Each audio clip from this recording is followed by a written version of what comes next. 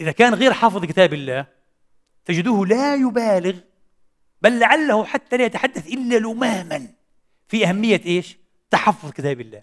مش مهم كثير حفظ كتاب الله. المهم الوعي والفهم والتدبر. صحيح الوعي والفهم والتدبر مطلوب. لكن بالله عليك بغير حفظ كتاب الله كان يمكن لكتاب الله أن يعبر هذه القرون كلها؟ العبث في المكتوب كان ولا يزال قائما. إيش رأيك؟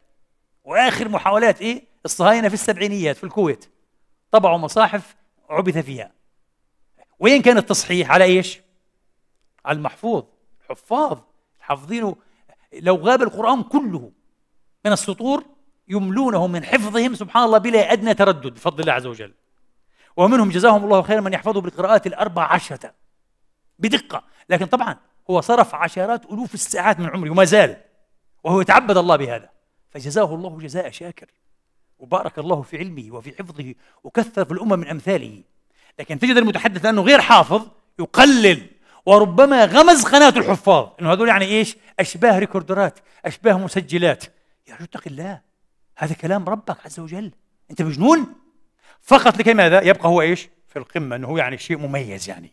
الحفاظ غير مميزين، مثلا اثنين إن كان لا يدري من السنة شيئا ولا حافظ لا أحاديث لا في بخاري ولا في سنن. ولو سألته إيش الفرق بين الصحيح؟ ها؟ صحيح البخاري وبين مسند أحمد ما بعرف. شو مسند ما مسند؟ ولا بيعرف حاجة. ما عنده أي علم. فيزهد في السنة جملة وتفصيلا. شيخ الإسلام المحدث الأكبر محدث دار الشامية سيدي محمد بدر الدين الحسني قدس الله سره. الشيخ العارف الصديق. هذا شيخ. اللي يحب يتكلم عن المشيخة والعلم؟ وكيف تكون المشيخة اللي يقرأ عن سيدي محمد بدر الدين الحسني اللي عمره في حياته عاش نحو من 83 و 84 سنة في حياته الطويلة هذه لم يغتب أحدا من عباد الله لا فاسق ولا صديق ولم يسمح أن يغتاب أحد في مجلسه من الكبير ها قبل الصغير. حدثتكم مرة أنه في يوم من الأيام كان جالس كان معزوم هو عند الباشا التركي. حاكم إيه؟ الشام كلها. الوالي يعني الوالي. وراح الوالي هذا والي تركي. بدأ يتكلم عن واحد. هو هذاك أدب سيس كذا كذا مش عارف إيه. فالشيخ رفع ايده هيك. كفى. فالباشا ما فهمش إيش ماله هذا؟ وبعرف طبعا بعرف بدر الدين الحسني طبعا. ويهابه ويحترمه لأنه السلطان نفسه عبد الحميد. بدر الدين يقول على رأسنا من فوق. حدثتكم 100 مرة. بعث له سفينة إلى اللاذقية. قال له شرفني بالزيارة يا سيدي. تخيل السلطان عبد الحميد حاكم العالم الإسلامي كله كان لسه. الخلافة كانت موجودة لسه. تخيل ما كانت إيه؟ منقضية. شرفني بالزيارة. فقال له إيه؟ ومين أجا؟ أجا الصدر الأعظم يعني رئيس الوزارة ال prime minister كله. سموه الصدر الأعظم هم أيام. يعني ثاني شخصية بعد السلطان. أجا الصدر الأعظم بنفسه. والكنيسة واقفة و... اسمه هذا السفينة واقفة في الميناء. أجاه وقبل إيده كذا. وطبعا هو ظن أنه مباشرة يوافق. سكت الشيخ قدس الله سره. مش مأذون يابا قال له.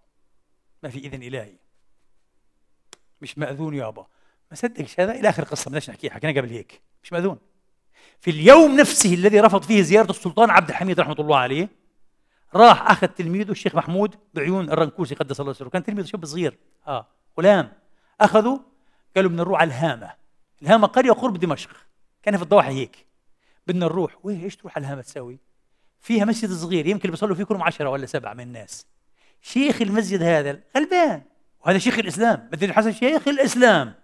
اللي قال في الشيخ الكتاني الحافظ الكتاني قال أنا أقدر وأرجح أن الأمة المسلمة من أيام الحافظ ابن حجر شوف 852 آه الهجرة لم ترى مثل سيدي بدر الدين الحسني. ولا السيوطي ولا السيوطي ولا السخاوي ولا البقاعي. ما شافت ما شافت. بعد ابن حجر أعظم واحد اجى بدر الدين الحسني. الله أكبر. الله أكبر. يعني حوالي كم؟ شوف 700 سنة تقريبا. 600 سنة. شيء لا يكاد يصدق؟ هذا الحسني. قدس الله سره. رفض إيه؟ يروح على السلطان. تخيل. والسلطان طبعا تعرف يعني. وجاه سلطان. غير طبعا العطايا والذهب والفضة. ما بده. وراح زار شيخ في الهامة وراح زاره. لبى دعوته وراح عنده تناول معاه الغداء وصلى عنده. إيش الناس هذه؟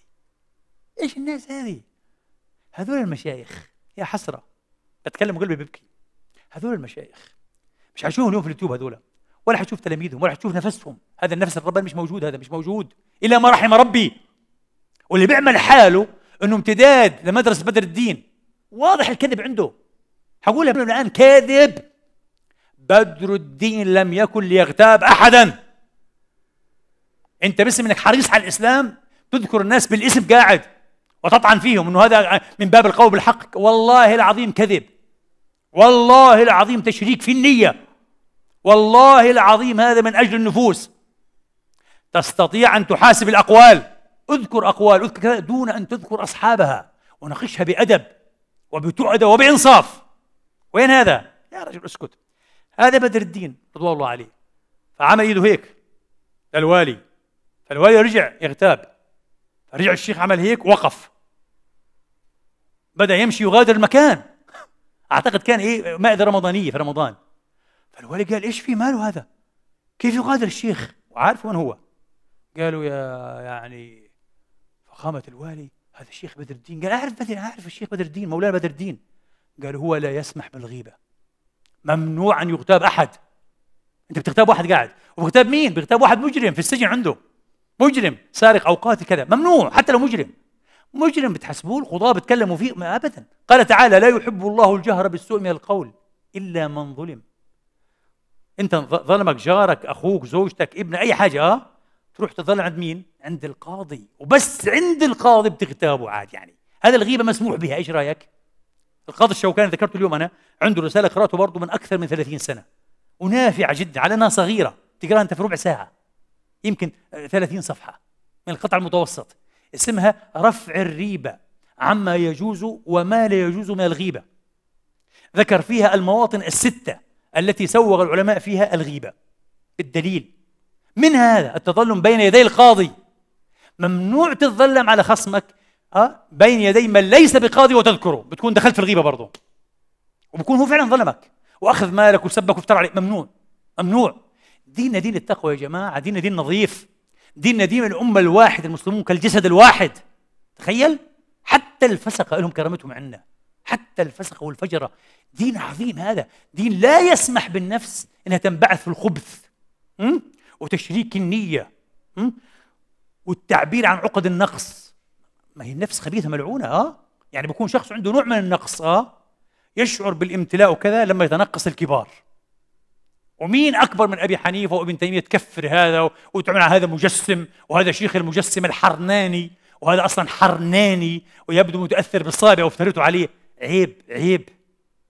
والله لكم موقف عظيم بين يدي الله. الواحد بخاف نسال الله إنه إيش؟ يعصمنا والله العظيم ويعصم المسلمين من ألسنتنا. ومن ظنون السيئة. وكل المسلم على المسلم حرام. ماله ودمه وعرضه وألا يظن به إلا الخير. الحديث صحيح. ممنوع الظن بأخيك قدر ما تستطيع إلا الخير. إيش رأيك؟ مهما بلغ نقول لا. لعله أراد كذا كذا. لعله كذا كذا. لعله كذا كذا. ها لعله أي شيء. أحسن الظن بالناس. وخليك ستير. وخليك ستير. والله ثم والله ثم والله. لن تعرف معنى الإيمان ولن تذوق معنى التقوى إلا إن تخلقت بأخلاق المتقين وفي رأسها حب الستر وعدم البحث عن فضائح الناس.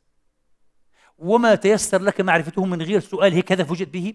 تكتمه إلى أن تلقى الله وخاصة إذا كان إيش؟ يتعلق إيه؟ بخصم شديد لك. هي الشطارة يكون خصم وحريص على فضحك وإيذائك.